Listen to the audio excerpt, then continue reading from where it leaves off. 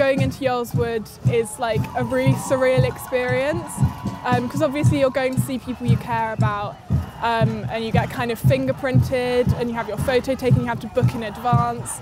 Um, and it's a really scary experience.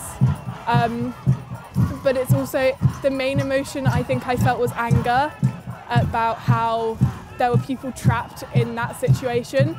Like I was able to come and go, and I knew that because I'm a British citizen, I wasn't at risk.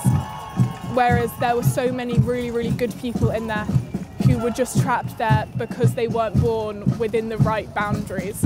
I think it's so important to come to protests like these um, so the government know that we're we that they won't be accepted and people will stand against them but like mainly to show the people that are being detained that people do care and there are people out there that are willing to like support them and will support them no matter what. I ended up bumping into the person I was visiting over summer today, which I didn't know was going to happen.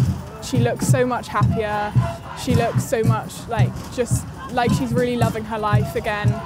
Um, which is like so so nice to see and like she's such an amazing brave lovely person that she really deserves it and no one should have to go through what they've gone through